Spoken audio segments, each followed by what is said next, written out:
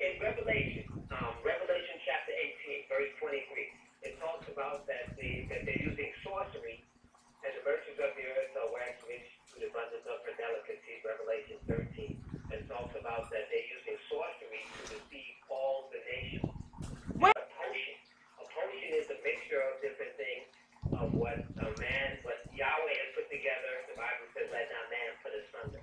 So herbs and also the fruits and so forth and the vegetable kingdom that man is willing to tamper with to make different potions. So when you go to the store, you're buying potions usually. You're buying TV dinners, you're buying cereal, you're buying this, and these are potions that they have put together, which is sorcery. They get you sick because they're all made for acid so that you can be part of a system. How does the system work? The system feeds you potions of food. That's what they are. They're not real food. The potions, the only ones that are real food will come from the hand of Yahweh. Oranges, apples, whatever.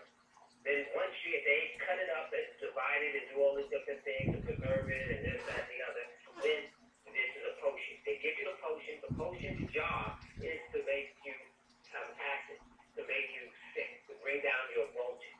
So once you implement, once these potions are derived, then they, their job is to get you sick so that you can go to the drug doctor to give you more potions, which tells you, hey, this might have this side effect